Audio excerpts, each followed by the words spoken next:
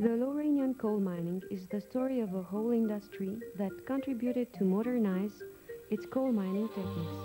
It's also the epic of a district which 20 years ago made the entire mutation of its economy and wants to win today the challenge of industrial diversification.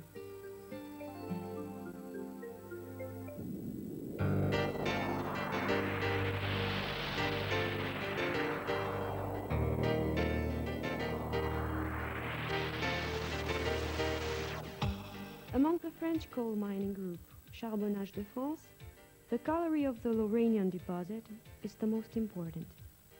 They work a 480 square kilometer deposit which spans to Sarre and descends to Lorraine. The first time we extracted coal was in Petite-Rosselle in 1856. The technical problems, while trying to get to the working veins, slowed down the development of the mining companies of that time. In addition, their expansion was hindered by the several wars that took place in that particular area. Only after the 1945 armistice and the 1946 nationalization, the colliery developed rapidly. It was the epoch of the coal struggle and the country faced enormous energetic needs. In 1959, the production reached 15 million tons with a personnel of 45,000 miners. The mining concession of the HBL is 40 kilometers long and approximately 30 kilometers wide. Today the deposit is worked by four units. La Houve, Vouters, Reumaux, and Forbach. The deposit is characterized by a complex geological structure. The slope of the coal veins is called dip, and it varies from horizontal, the flat seams, to vertical, the steep seams. The thickness of the worked veins varies between 2.2 and 4.5 meters. The structure of the coal is very hard. Each mining area is equipped with high technology machinery. One of these machines is the shearer, which operates at 1,000 meters underground. Electronically controlled by two miners, it progresses along the coal mass. In the flat seams, the shields support the roof. In front of the self-advancing roof support, the coal is extracted in pieces about 80 centimeters large by a shearer on a 200 meter long well face. Then the coal falls into the chain conveyor, which brings it to the shaft. The whole conveyor roof support system advances towards the face, and the cycle starts again.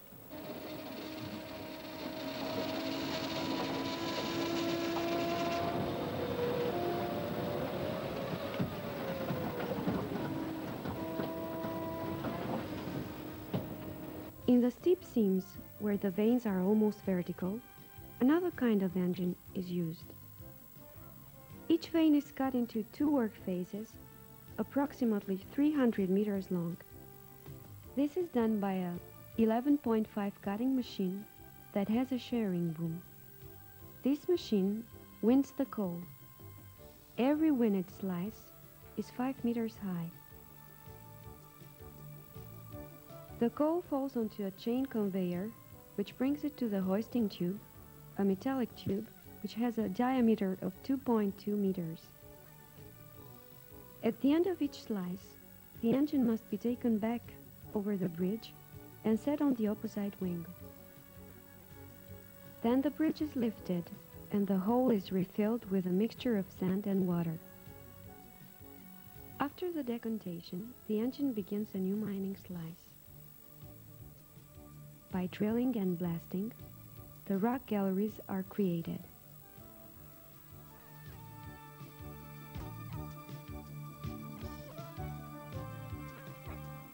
Finally, the drivage of the coal axes are made with special adapted engines such as Superrock, or Alpine. In this manner, more than 50 kilometers galleries are driven every year. This equipment, used in each work area, is being technically improved by using more powerful performing engines, using self-advancing roof supports with an opening of more than 4 meters, and by using computers to control the mining process. This technical evolution has improved the safety and the working conditions of the miners. Security is a constant preoccupation and the training is continuous. At the main rescue center, the rescue teams are ready to operate anytime. All of the improvements we have made have reduced the accident rate in each of the HBL departments.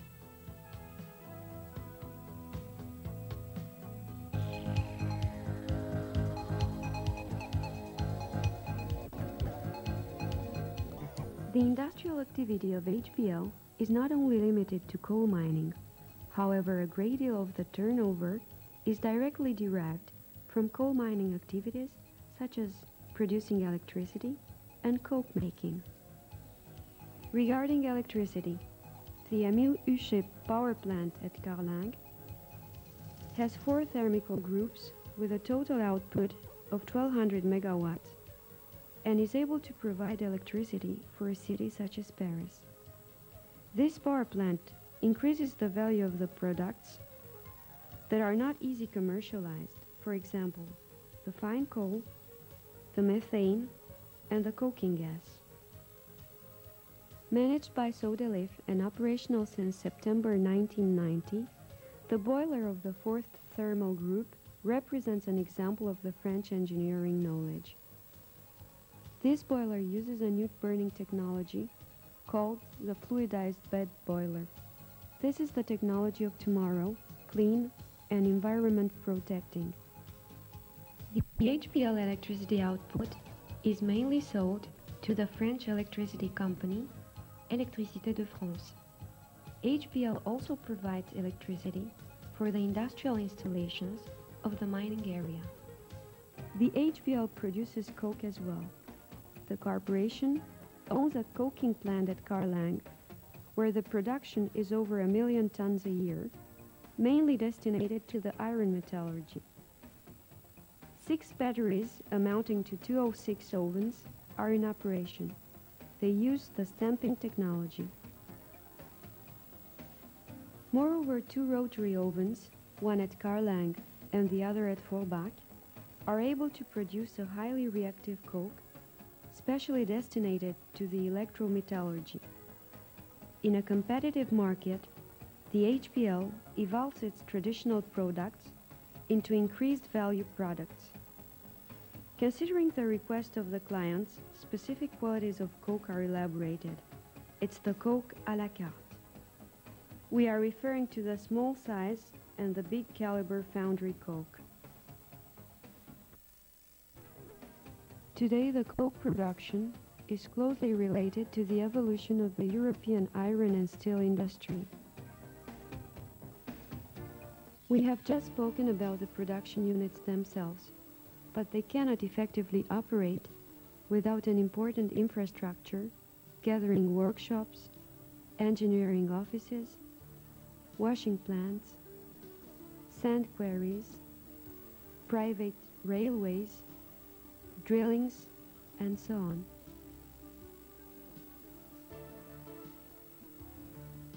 With the help of thousands of miners, sometimes even working around the clock, we are able to produce more than two-thirds of the French coal output.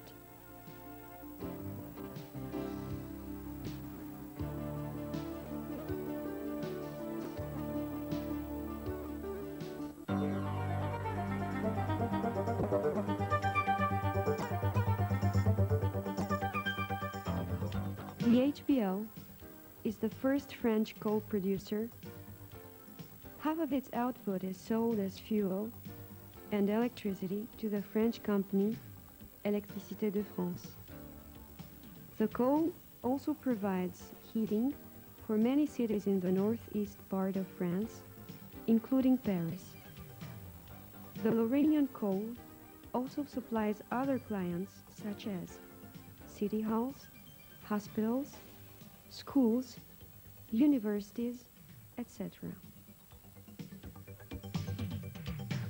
Coal also provides energy for industries such as chemistry, paper making, textile industries, cheese making, sugar refining, car industries, and many others.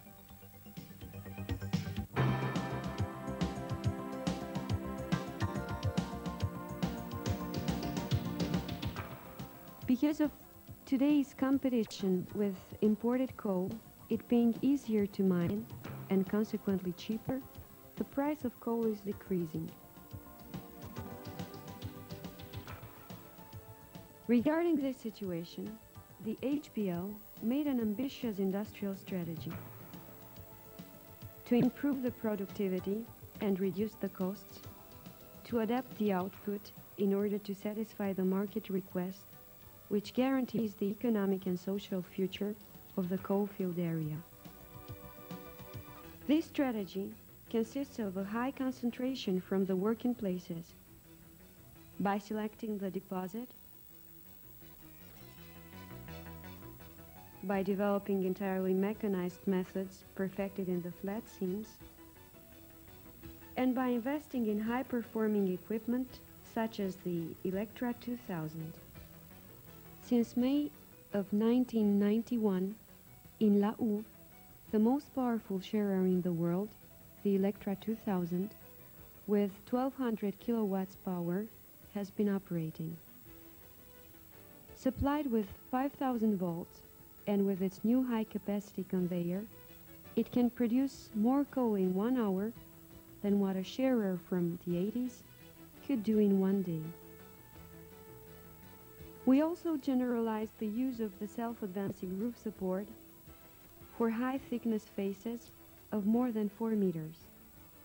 In regards to the HBL staff, we strengthened the training process by focusing on a new type of human relations which consists of stimulating each individual to become quality achievers. Collectively, this makes the whole HBL department progress. This adaptation placed the HBL on the top of the European mining. The underground output per man shift during the past five years has improved almost 60% and has produced nearly 7 tons an historical record for the HBL.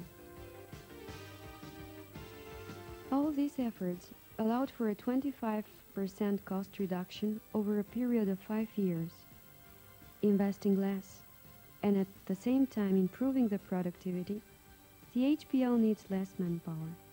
Over 10 years, the labor was reduced by 10,000. We realized it without dismissals, and we made an important effort to help the people that left HBL. We helped them specifically according to the profile of their new careers and supported them financially.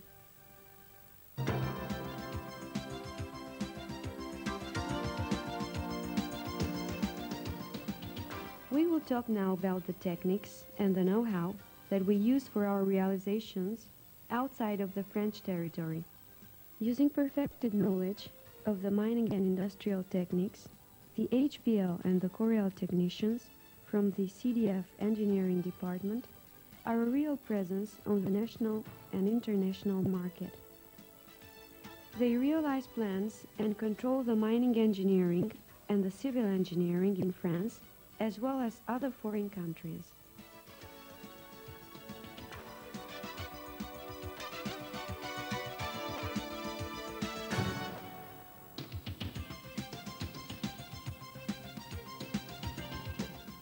Among other technical skills of the CDF engineering, we can also count the specific work and jack lifting.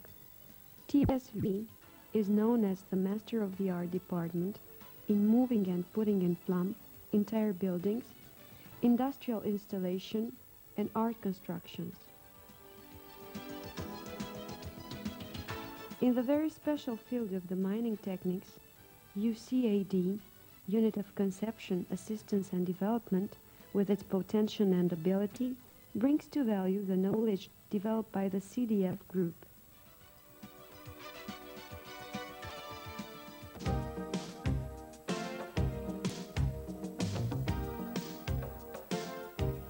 To ensure a social and economical future, the HBL has industrialized the mining area for more than 20 years. Together, the Industrialization Service of HBL, SOFIREM, the State Department, and all the local partners conjugated their efforts in doubling the number of jobs that HBL abolished. Because of the diversification of the existing enterprises and the implantation of new industries, 25,000 new employment opportunities were created in the East Moselle over the past 20 years.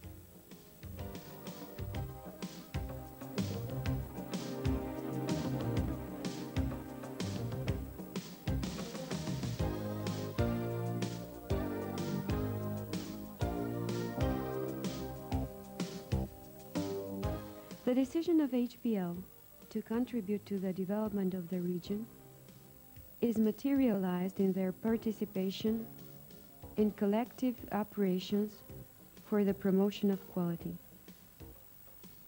An approach of partnership towards the suppliers and towards administrators is a direct implication in the evolution of the training center, CEFACIM.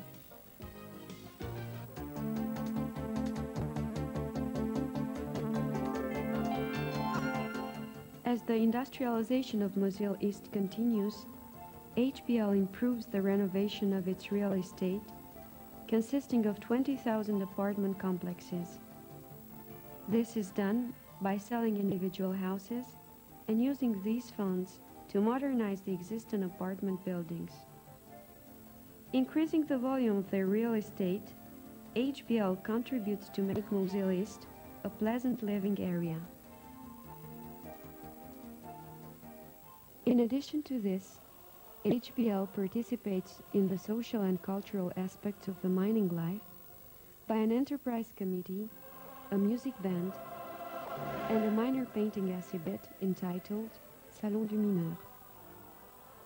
By its meaningful historical background, HBL has contributed greatly to the economical development of France. However, they now must face the important decision of their professional attitude. Mr. Jordan, the HBL General Manager, will point out the main aspect of this attitude. Bien que confronté à la récession de la profession, Although confronted to a professional recession, HBL continues to develop its performance capacity and to improve its innovation to overcome this crucial moment of its existence. In order to maintain its leading position of the French mining technology and to ensure the future of its personnel, HBL continues the challenge to consolidate the East Moselle's industrial development.